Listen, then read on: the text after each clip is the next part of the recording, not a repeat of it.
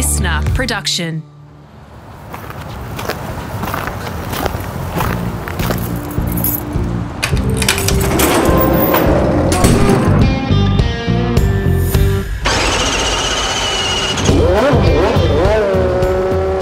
G'day, it's Rusty here, all set for part two of my podcast with respected F1 TV reporter Louise Goodman. Coming up, the Dare to Be Different program and how proud she is now of the great work they are doing. Plus, hanging out, working with the great Murray Walker. Now, if you've somehow found yourself on the grid here for part two and kind of haven't taken in Quali, part one of this episode, jump back to the garage and give it a listen. From working with the live wire, Eddie Jordan, to freaking out a bit when Eddie Irvine was water skiing days before a Grand Prix with Neil Crompton at the helm of the boat. PR work with Martin Brundle and a cool stunt where he traded places with rally legend Colin McRae. Plus, a young UK traveller taking in Australia before an opportunity at the Adelaide Grand Prix helped set her on a path of a big F1 adventure. We begin part two with a special moment in the history of the Jordan team and how Lou was on the spot at Spa in Belgium to convey the moment for millions of viewers watching in the UK and beyond.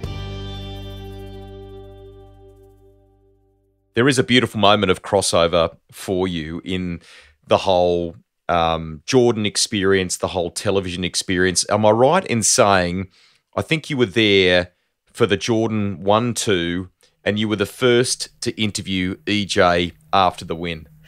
I was. You are right. Yes, at, at the Spa Grand Prix. Um, and and I'd always said to Eddie because throughout my time with Jordan as a press officer, we, would never run throughout my time as a press officer full stop i was never with a team that ever won a race.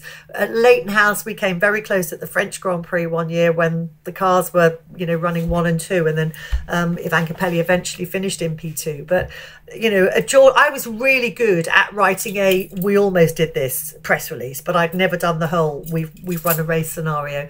And i said to eddie who you know when I'd said to him, I'm off to work for, for ITV, he was like, fantastic, wonderful. Um, and we had the deal that, you know, when Jordan wins the first Grand Prix, I'm having the first interview made. It was like, yeah, no problem. So when that happened at Spa, um, you know, obviously I was delighted. It was it was my team. I, I I still felt like part of it in a way that you know I was able to really savour that win for them because it was the people I've been working with for for years. Um, yeah, and listen, I just it was a bit of a free for all uh, in terms of everybody trying to get the interview. But I, I piled in from the back, you know, in the rain. It's like, Eddie, you're mine. And he was like, yep, yep, this one's for Lou. Come on through. So it was, it was great. It was a, it was a special moment to be able to, you know, to get that, that, that first interview is always an important interview to be able to get the first interview to get the actually you know the real in the moment by the time somebody's excited for the ninth time, that they've lost some of the excitement of it. So being the first person to, to get that interview with EJ was great. Uh, the, my other first was was getting the first interview with Lewis Hamilton when he eventually won the world championship, and you know that was that was similar circumstances in that everybody was absolutely, you know, it was teeing it down with rain and it was mayhem. So that was another get your elbows out and fight your way through scenario. You, you do uh, when you're on the grid like that. I know it's tough for Martin these days sometimes, which I think is so wrong. Celebs should talk to him when he's doing that that grid walk, and, and I know they're meant to now under the under the new rules. I just cannot believe the way some of them um, carry on. But I want to draw people's attention to one for you. What about the Oceans 11 Stars in Monaco? Yeah, that was a that was a bit of a coup. They came down there promoting. Um, they'd done a tie up with with Jaguar. Um, and Nav Sidhu, who was the, the, the the very good and another kind of you know he was the kind of guy who would come up with he's the guy who stuck a diamond on the nose of the Jaguar car that's another story. But they'd done this deal with with the Ocean's Eleven. Um, the guys were, were promoting the film in at the Cannes Film Festival, which was on just down the road, and they were coming up to, to Monaco to have a photo call in the garage. And um, Nav had tipped the wink to a, a, couple of the key broadcasters, and thankfully I was one of them, as to where they were going to be coming in. So most people were standing up by the garage waiting for them. Nav said to us, okay, we're coming in a boat and they're going to come in through that gate, then we're going to walk up. So we were all stood around there basically ready to get to get the interviews. Um, and we'd worked out who was going to talk to who. So I said, right, I'm going to go for Brad Pitt first. Somebody else was going, you know, for, for George Clooney. nobody went for Damon, uh, Matt Damon first, which was terrible. But but anyway, so I pile in with uh, with Brad Pitt, who just totally blanked me. And you sometimes think, well, maybe didn't hear, so I tried again, and he just totally blanked me again, which I, I just. I, I hate it when people do that. I just think you could at least look and say, you know, whatever. But anyway, I turned around. Uh, I interviewed Matt Damon. Mm. He was lovely. George Clooney is giving it large to everybody, chatting away. So I thought, well, I'll, I'll, go in there as well. So I said, oh, hi, George, you know, you've got time for one. Sure. Sorry, who are you? Where are you from? Louise gave him an interview. Yeah, come on, fire away, fire away. Gave me a lovely interview. He was he was really, really great.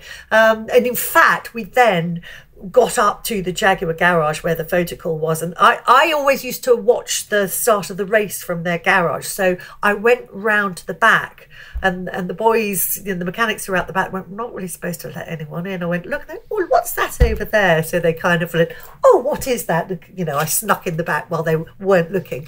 Um, and and I think by that point uh, Brad Pitt could then see, well, hang on, it's that bloody woman again, and she's behind the scenes with us now. So he did finally give me give me the interview. So I tell you what, Mike, I had so many people contact. Oh my god, I can't believe you got to speak to George Clooney and Brad Pitt and Matt Damon, and so that's probably the interview that's got got the most attention from you know people, friends who had no interest whatsoever in Formula One, but like suddenly it's like, oh my God, you interviewed George Clooney. Now I'm interested. Now, tell me about. I mean, you're proudly from the UK, obviously, so I could immediately think Silverstone is the fave race, but is it Monaco? Has there been a, a GP along the way, either from memories, from the racing, whatever? What's been one that you you kind of cherish or look forward to the most?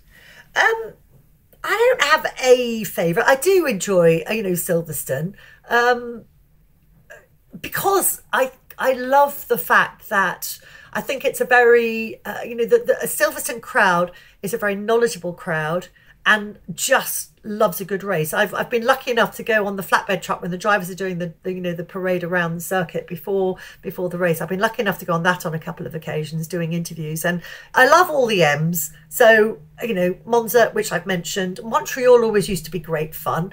That was just because it's it's you know the circuit is so close to the city the entire city had a real festival atmosphere about it. So that was always great. Um, and and you know, I love Suzuka just because again I think Japan is a really interesting country, but the passion that the fans have, it's a very different kind of passion. It's a very polite passion. You know, we'd go there back in the early days when we had pre-qualifying, it'd be dark when we got then. You you know, when the sun eventually mm. came up, the grandstands were full you hadn't heard, hadn't had a sound. You know, you contrast that with somewhere like Interlagos, where they do not stop blowing horns and banging drums from, from dawn till dusk. But so very different atmospheres in places and as you know, I love Melbourne. I just love, you know, I get excited. I, I land in Oz. I get a Golden Gaytime inside me as quick as I can. And I, I love coming to that race. It's partly down to getting to see, um, you know, having a bit of a holiday and getting to see my mates afterwards. But it does feel very, I spent a lot of time there over the years. So it does partly feel like a, like a second home. Um, and I have so many, so many friends over there, you know, my, uh, my girlfriend, obviously, but lots of people I've met through her. Her daughter is my goddaughter. She's now got kids of her own, you know. So I'm up on the farm with them and catching up with other mates and getting some holiday and somewhere in the sunshine. And, and yeah, it's the other thing to bear in mind. It's you know I've I've left an English winter and I'm I'm heading out to to an Australian, hopefully summer. Although let's face it, Melbourne doesn't always play ball in that respect, does it? We've we've had a few wet ones over the years. I spoke to James Allen for the podcast. He gave me a little bit of intel. He says he seems to recall perhaps it was Ferrari giving you guys some branded phones one year, maybe with their connection to, to Vodafone when they were backing or sponsoring Ferrari. And he says for me to ask you what happened to yours. I had a little bit of a habit. I used to keep my phone in my. I had a little um, pouch thing on my belt that it would sit in. And I had a twice it happened to me. Um, and one of them was in Melbourne, the other one was in in at the Belgian Grand Prix at Spa. It fell down into the toilet, you know, and in Spa particularly, it was like it was just one of those one of those you know portaloos that you heard the clunk of that, and it's like, oh, that's that's gone, gone, gone. That's down into some recess that nobody ever wants to go into. Thankfully, in Melbourne, there was there was slightly more. Um, you know, it was more like a sort of normal toilet rather than a. So I'm, I'm, I'm, I'm not ashamed to say it was literally as I was sitting down, nothing else had happened. So my hand went straight down and pulled the phone out, but there was no way that was happening with my, my lovely little, as you say, Ferrari branded Vodafone freebie in, in Spa. That was gone, gone, gone. Thanks, James, for sharing that. now, tell me, um, you've got a great relationship, I think, with with Johnny Herbert, and he's also reminded me, James, to sort of chat about that, some of the fun over the years. There's some good stories with with Johnny, isn't there? Yeah, Johnny was one of those drivers who I'd worked with when when he was at Camel when he first came in um, with uh, when he was at the Lotus team.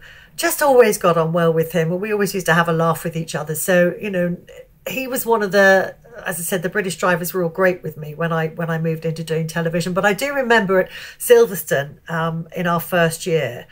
Um, Johnny said to me, "Oh, you you see me a bit more." A little bit more relaxed now. I was like, yeah, I'm kind of getting a feel for it now. I'm getting a bit better. And he said, okay, that's when the fun starts. I went, what? I went, oh, no, no, nothing. And anyway, cut forward, standing on the grid. I'm standing beside him, waiting, you know, to do a live interview with him.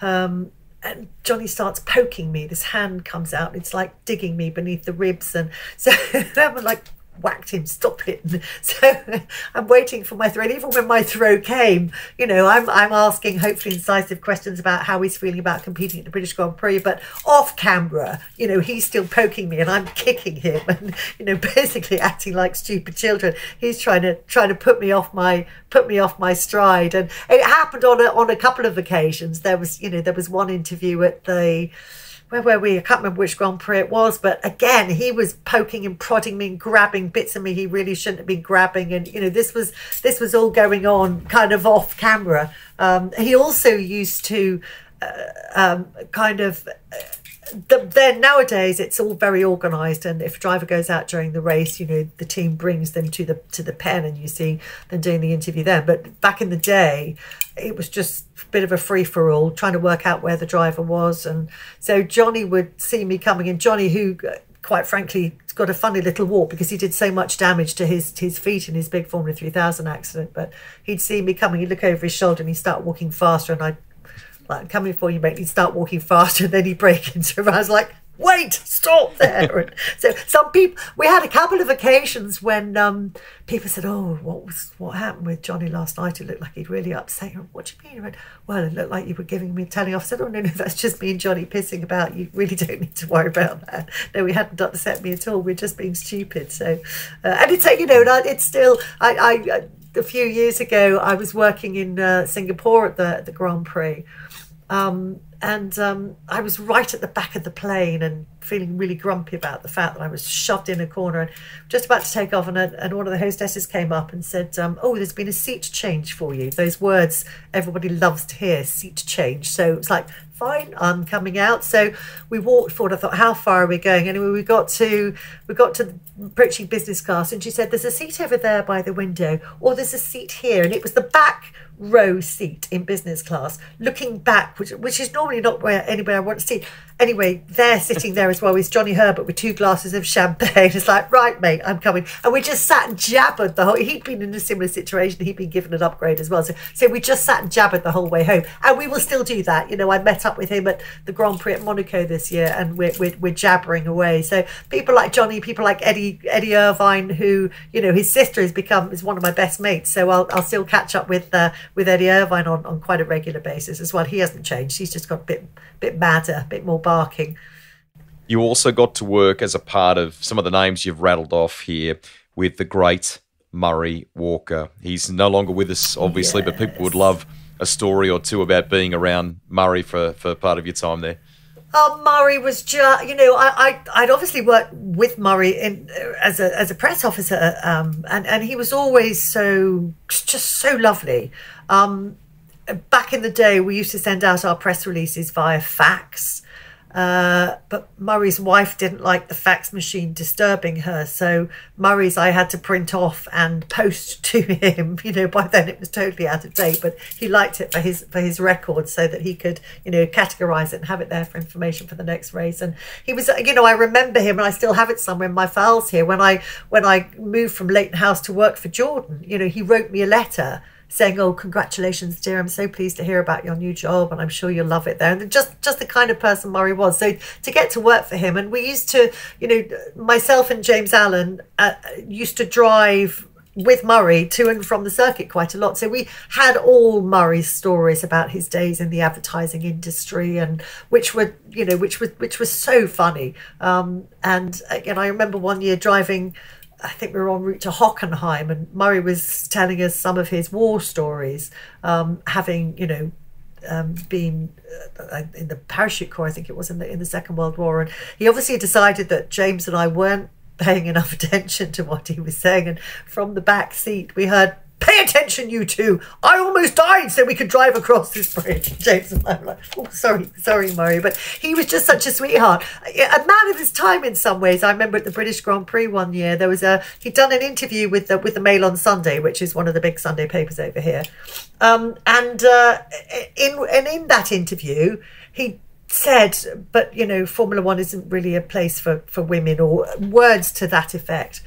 So like, one of the guys pointed it out. I was like, okay, well, I'll go and have a chat with Murray about it. So I said, Murray, this um, this interview you done? Yes, dear, yes, dear. I said, there's this bit here. You said Formula One paddock's not really a place for women. Well, it's not really, dear, is it? I mean, you know, it's it, it's it's more of a masculine. I said, Murray, I'm a woman. He said, well, I didn't mean you, dear. I didn't mean you at all. But you just think, oh, bless him. You know, he was mortified at the thought that he'd, you know, he, would upset me. But that was just, you know, that was just a just a typical man. But such a such a sweet man. Um, and to have the opportunity to to work so closely with such an absolute legend of of the sport and, and of broadcasting, not just here in the UK, but obviously much love down there in Australia as well.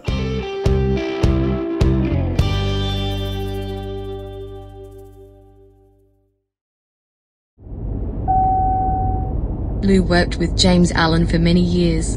He was the voice of F1 for a time. These days James has a management position with one of the most respected digital platforms. The growing and changing audience the sport now enjoys because of the drive to survive effect is massive. And then with the younger generations, it's clear that they, they then think, what is this? This is great. Who is Dan Ricciardo? This kid's cool. Look at him. He's got tats. He's funny. You know, this Lando Norris guy, this Max Verstappen guy, God, him and Hamilton, they really hate each other. This is fascinating. And then the cast of characters around, you know, Toto Wolff and Gunter Steiner and Christian Horner and all, they just totally wrapped up in it. James Allen is in the Rusty's library. For the record Rusty is not on the board of any big conglomerates. No CEO or management types should be subjected to that. A bloke making car noises at AGMs. He can talk though. Back to his pod with Louise Goodman. For you, a very special part of your life. I mean, when you're immersed in it like that, you get to know the people um, and so on. And I was going to, if you're comfortable, talk about John Boy because he was. Yeah, you know, I'm always happy to talk about John Boy. Hmm. I mean, he was a, a great um, character in the pit lane. People will know him from Minardi and so on. Very sadly, he's no longer um, with us. And I know some time has passed there now, Lou, but that must have been enormously difficult for you. It was a very, very difficult time. Um, I, yeah, obviously. I mean, John Boy, um, we we'd first met when um, we both worked at, at, Jordan at the same time. He'd been he'd worked with Eddie for, for many many years. He'd been Eddie's mechanic when you know back back in Ireland. Um, so we met when he was working at Jordan, but we it was a few years after that um, that we that we sort of got together. So um, and he had a, a, massive heart attack just before the British Grand Prix one year. It was actually we were we were down in London. They were um, running the cars up and down um, Regent Street, one of the big big roads in London um, as a sort of promotional thing. All the Formula One teams were there, and and uh, yeah, John Boy had a, had a massive heart attack and, and died a few years later on the, the Friday of the of the British Grand Prix. So um, yeah, obviously horrendously tough times, but it was it was a time when you kind of become thankful for the Formula One family. I mean, ITV were brilliant. They said take off as much time as you like. If you want to miss one race, if you want to miss five races, we're behind you, whatever you want to do. Mm. In fact, once you got through the kind of immediate aftermath of, of something like that with, you know, organizing funerals and I, I kind of wanted to get back to not that life was going to be normal again, but uh, normal routine, shall we say.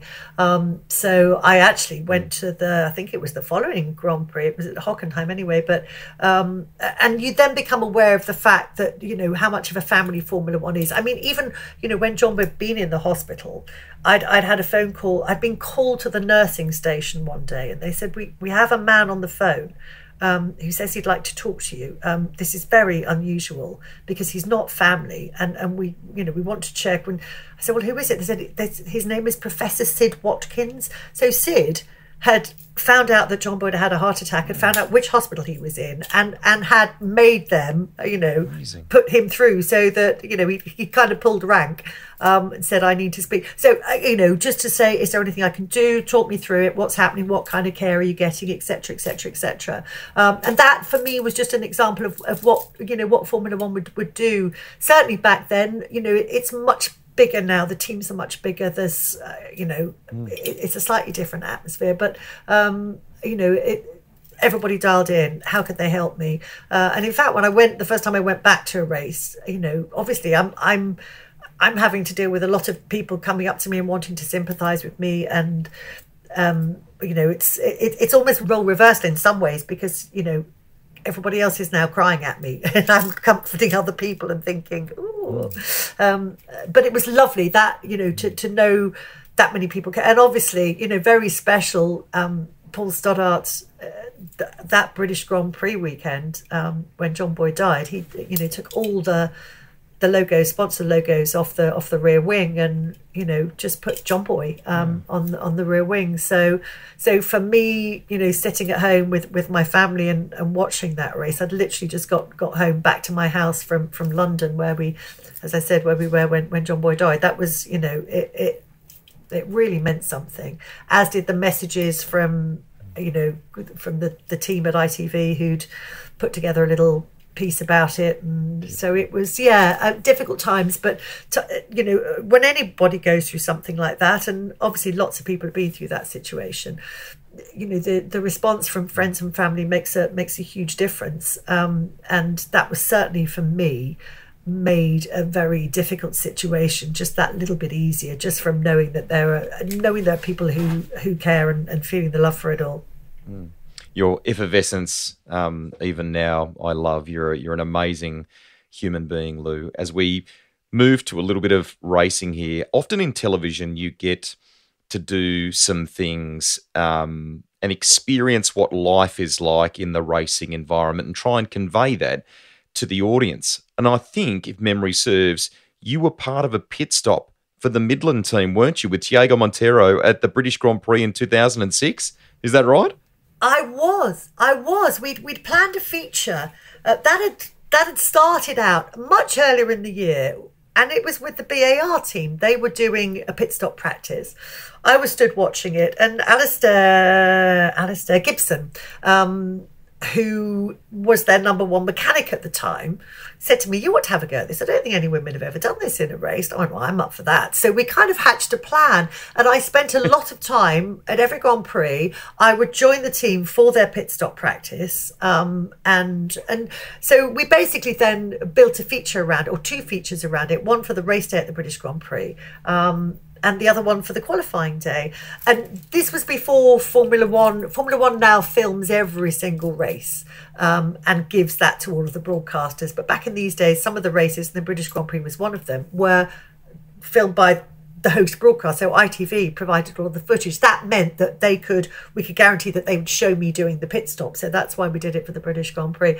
So I've done all my training for months in advance. The week of the British Grand Prix, I think it was like the Monday or something, I get a phone call um, from Gil de Ferran, who was the sporting director with BAR at the time, said, Listen, I'm really sorry, Louise, but we've just had a meeting and you can't do that. It's like, You are kidding me. You know, we've got two features set up around this. And I was a little bit angry, um, but also thinking, for God's sake, you know, A, why? I've done all the practice. Everybody has to do it for the first time at some point. And we're we're in refueling days here, so we're not talking sub two second pit stops. You know, you know, you've got a good eight nine seconds to to get it done. So um, it, it wasn't so much that. But anyway, for whatever reason, they decided I, I couldn't be part of their pit stop team. So then I'm left with a with a with a huge hole to fill in our scheduling. So I phoned up Andy Stevenson, who was the sporting director at Midland, as had been Jordan. So obviously I'd known Andy since he was a grubby little number two mechanic, and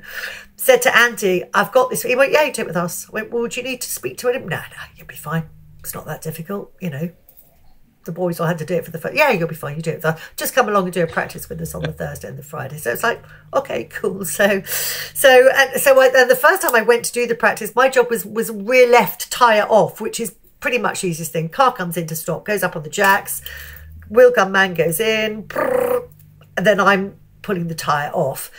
I went to do what I'd been practicing and doing and was so easy to do on the BAR and it was a slightly different action on the middle, and It was like, oh my God, no. So so I had to, you know, like learn like, no, wedge your elbow here for this one and pull it this way and it's a little bit of an up movement. And once I got that, I was absolutely fine. But so we we cut forward and then Andy came up to me just before the race and said, Oh, bit of a that was an interesting meeting. I said, what do you mean? Well, I've just told the engineers you're doing the pit stop. And I went, what do you mean you've just told them? He said, well, I wasn't going to tell them earlier. They'd only get a big fuss about it. No, they don't need to know, you know. So he'd, he'd broken this to them in the morning meeting. So, the irony was actually um, Jenson, who's car I was originally going to do the pit stop on, the British driver, his car broke down. He never even got to do a pit stop. So had it stuck with the BAR team, I would never have got to do the pit stop. Instead, you know, I, I did it with uh, with Tiago. So um, yeah, and I think I believe um, I'm still appallingly the only woman who's actually done that during the course of a Grand Prix. Um, hopefully that will that will change very soon. But I think you you know you'll see women getting involved in the pit stops in other capacities. But yeah, and I and I think um, I'm I'm still the the only woman who's actually done a wheel on wheel off capacity during a during a Formula One pit stop, which hopefully is something that will that will be changing very soon. You would go in in 2009, I think it was, and do some work also for the British Touring Car Championship, and you've retained the links with the BTCC to this day. So tell us a bit more about that. I think there's a, a kind of co-hosting role. You're working with, uh, no doubt, uh, a good connection to Alan Gow and uh, and so on. Yeah, I love that championship. So yes, when when ITV pulled out of the Formula One coverage, um, aside from thinking shit, got no job now, I then thought, okay, I would like to get back in and do touring cars. I'd done a season in two thousand and seven. Didn't do it in 2008, so I thought, right, 2009, I want really want to get back into to doing it. So thankfully that came off, and it's it's people I'm sure will, will, know of it, but it's kind of our version of the of the of the Aussie V8s. Um, but yes, masterminded by by um, Alan Gow, uh, who, who's straight straight talking Aussie, basically, isn't he? You know, it's um, so it's uh, and I just love it. You know, Formula One is is a special. Um, special paddock it's an amazing space it's been brilliant to, to work in formula one and i still do work you know in, in formula one albeit not full time but it's kind of uh, i do find myself you know it's it's micromanaged in this day and age and there's always somebody saying you know you can't stand here. You've got to this side of a line. You've got to stand two centimeters away on that side of a line. And after 20 years of that, you get a bit like, oh, mate, really, get a life. And there's none of that in touring cars. ITV are a much bigger fish in a much smaller pond. Um, and and obviously, the, the drivers and the teams are all very aware of the the synergy between the, the television coverage that we provide and what they can get from it. So they are very open, they are very accommodating. Um, you know, drivers come out of briefings. I can remember the first time I knocked on the door of one of the trailers um, to looking for a driver, the door opened. They were very clearly having an engineering briefing, which, you know, as a press officer, even, let alone a journalist, had I gone anywhere near one of our engineering briefings, I would have had my head torn off. But so there I was let, but it's like, no, what, were you right. It's like, I was just looking for, I can't remember who the driver was. And they went, oh, yeah, and they sent him out of an engineering briefing to do an interview with me. I thought, oh, this is a whole different ball game here, isn't it? So, so it's um, yeah, it's just such a lovely environment to work in, and also the racing is bloody brilliant. I'm regularly jumping up down and shouting at the television, um, you know, watching the watching the touring car races. It's it's elbows out, um, you know, all systems go 20 minute, 25 minute, you know, uh, minutes of mayhem, chaos, adrenaline. You know, I, I absolutely love it. We also on the bill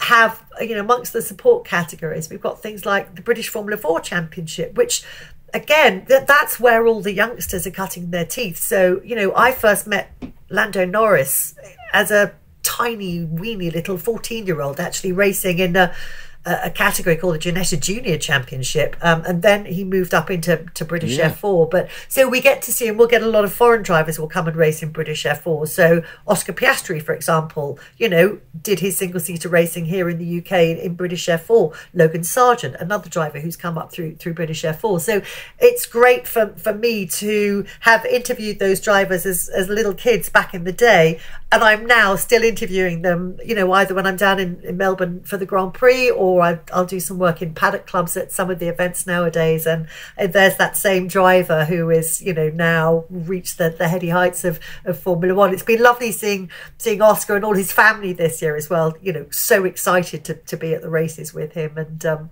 I was um, chatting to them in in uh, Bahrain. I was working in the paddock club in Bahrain, and I was chatting to his family. Well, I said something about friends and family, this massive cheer went up from everybody in the front row. So it's like, okay, that'll be your friends and family there. So I was chatting with them afterwards, and and then I saw them again. Uh, oh, well, Melbourne, they came running up. Hi, Louise. like, hi. You know, still, I, I think it's lovely when you can still see people still have that enthusiasm. You know, I still have that enthusiasm when I go to Grand Prix now. I think if you're doing it, if I was still doing it full time, I would have lost some of that enthusiasm. Um, so it's lovely when you see that enthusiasm in people because it, you know, it's it's really hard work Formula One. And nowadays, you know, we used to get to Monza, we would have Japan, Australia flyaway races, jobs are good and end of season. Whereas nowadays, you get to Monza the end of the European season, they've got like another eight long distance flyaways with yeah. you know triple headers, and it's seriously, seriously hard work nowadays. Amazing. Could you tell that some of those names you rattled off, like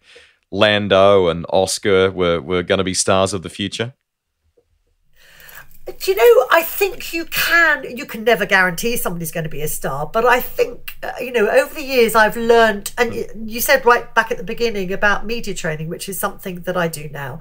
And you can see when drivers mm. come in, um, you you get to know the characteristics that somebody needs to have to go all the way, and it's hundred percent not just down to their driving ability. Obviously, that's a key part of it, but attitude and application are what separates. You know, there are a, a lot, and in fact a very good example of that, um, and I hope he doesn't listen to this when I'm quoting him adversely. When I was, I knew when Oscar got into Formula One, I'm thinking which which year was he doing? Which year?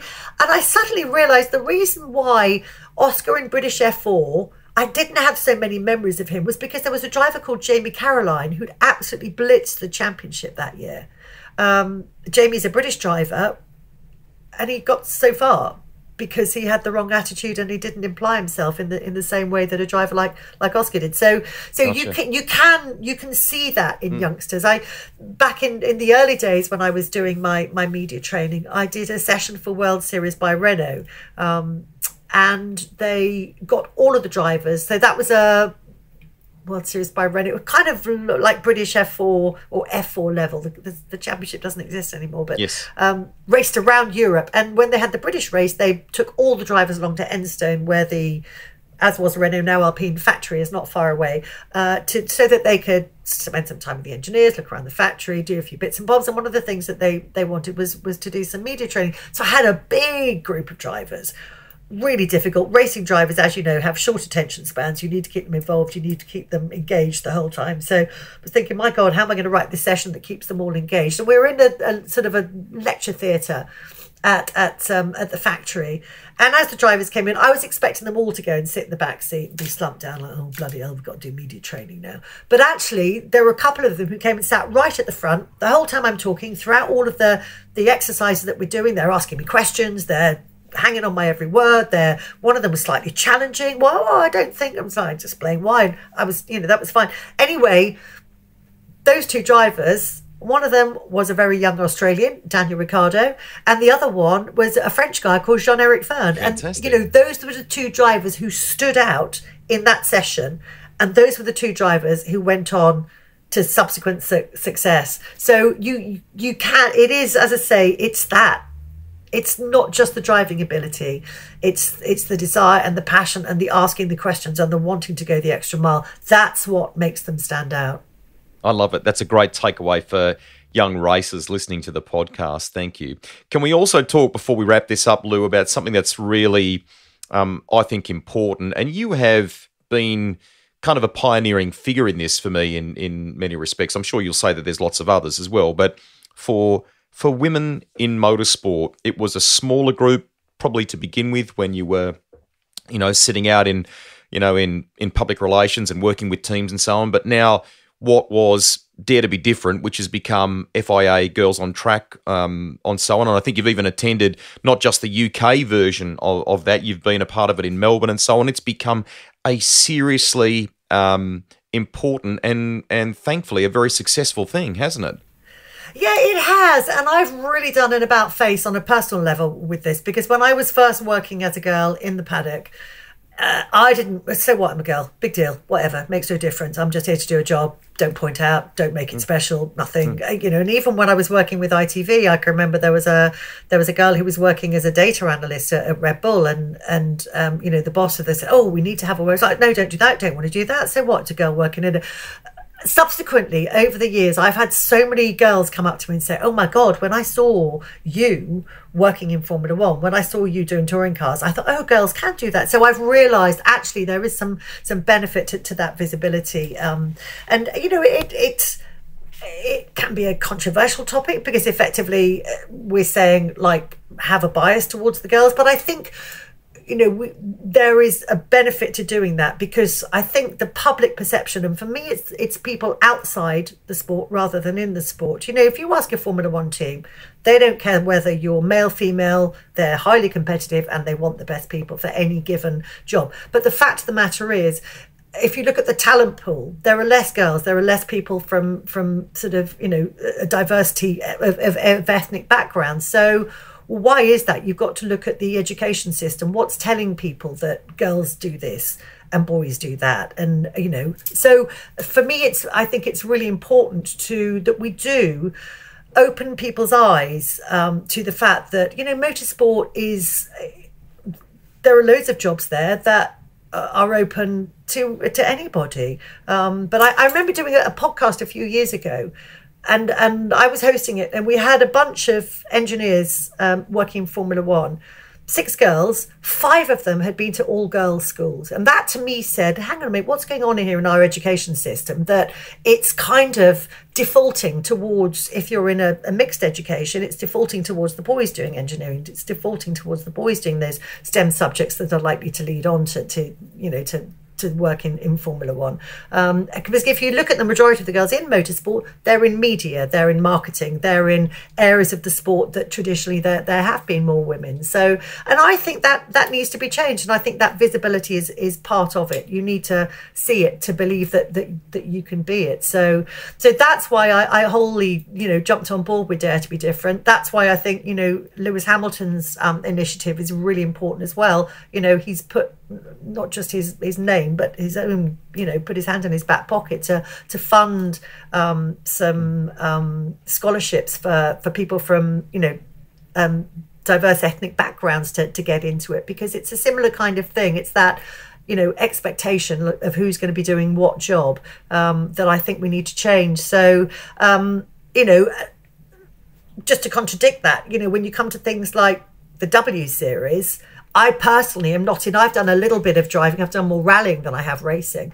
I'm I'm not in favour of all girl series. For me, it's like when I was rallying. You know, they'd say you're the fastest lady driver. I used to say to I'm the fastest driver with tits. Who cares? You know, that's irrelevant. I'm not the fastest driver. I didn't win. I I take the I take the check that went with it because that was useful for my budget. But and so similarly, you know, with W series, I'm like, who wants to be the fastest woman driver? I just you know I think it's about being the fastest driver. I've always celebrated the fact that I think, you know, equestrian, sailing, motor racing are, are three sports where men and women can and do compete on a, on a totally um, level level footing. But what I what I do like about things like W Series and obviously now we've got the, the F1 Academy, which again, on the level of being an all female championship, you know, it, it's irrelevant. Um, and there are a lot of other racing drivers who would say the same thing female racing drivers. It's like i don't want to compete just against girls. I just want to compete. But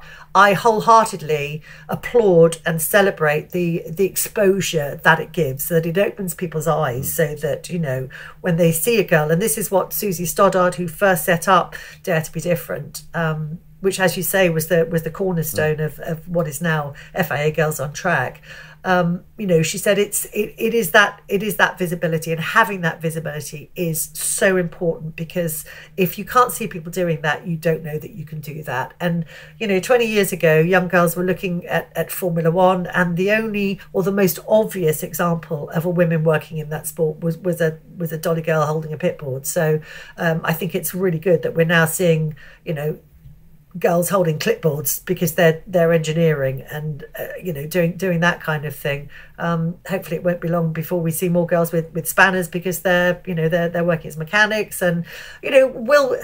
Do I want it to be 50-50? No, it's it's not about that. It's not like you know. I, I think it's some people are always going to veer towards something, and I think it's probably you know more likely that that um, you know more men will veer towards engineering but i think we need to make it a level playing field so that it's the same opportunity and also so that i think if you look back to a lot of the women who worked in motorsport back in the day we're all quite strong mm. feisty women and i think we needed to be in order to fight our corner um, and uh, therefore you know that's that's a, a, a, personal characteristic. It doesn't make you good at your job. But if you have to be good at your job and be a strong, feisty woman, that's cutting out a whole load of women who are just really good at the job but might not be strong, feisty, and uh, you know prepared as we all were to say, sod off, you know, and, and and fight our own corners and join in with the banter kind of thing. So so I think it's uh, um, yeah really important that that that gets promoted, which is why I'm so happy to attend the events here in the UK to you know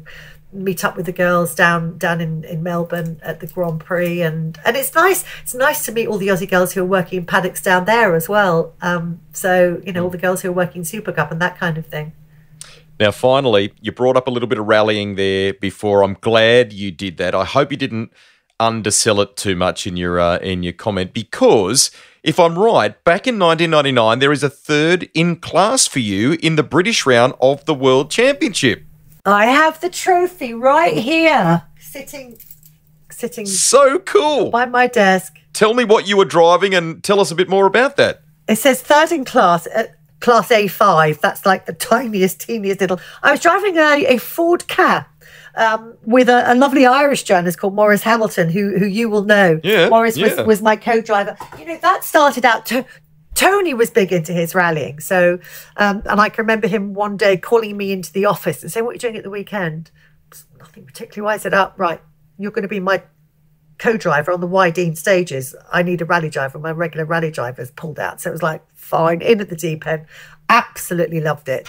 Um, and then, um, so I'd always, you know, got an ear open stuff, and then suddenly cut forward. You know, when I'm working for TV, suddenly people are more more likely to say, "Would you like to have a go driving our car?" So Ford came along. They had this Ford Ka Championship. They said, "Did I fancy having a go?" So I was like, "Yeah, I'm 100 percent up for that." So that's how it started. I absolutely loved it. Absolutely loved it, and and worked towards, um, you know, get building up my skills so that I could um, do do Wales Rally GB, which you know, and and rallying to be able to compete on the same stages at the same time as a you know a world class event like that was just incredible. And the step up you know i, I was used to doing national rallying uh, the only time you saw people was when there was, you know, if you saw people out on the stage, you thought, well, I need to be careful here because that's where you were most likely to have an accident. That's why they were standing there. Whereas, you know, when you're doing a world championship event, the streets were lined with people as you're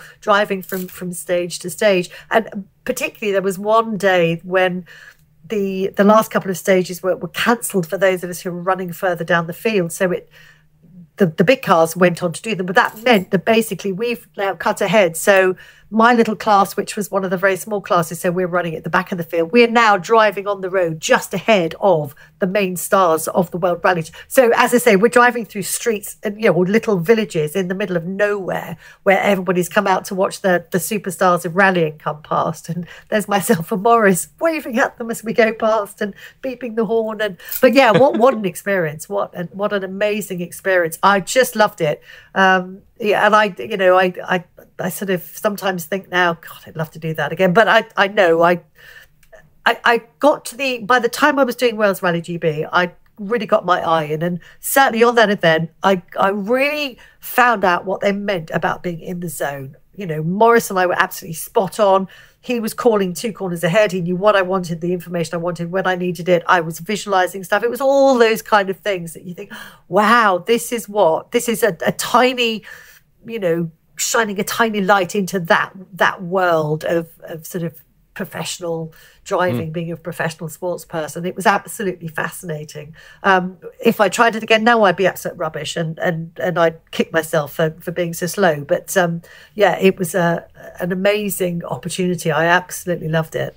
You can walk it, you can talk it. I knew this podcast was going to be good because our dinners when we're together for the Australian Grand Prix and a few other events we get to do from time to time, the conversation is always terrific.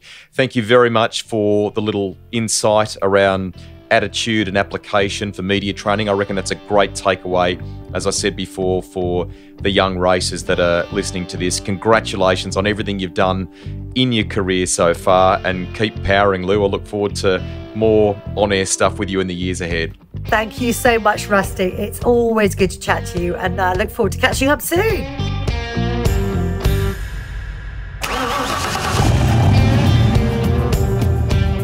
Rusty's Garage is written and presented by me, Greg Rust. Series editor and producer is Thomas Dullard. Audio production by Link Kelly. If you've got a guest suggestion, get in touch with me via social media. The Garage. That's where a journey begins with a tank full of passion fueled stories.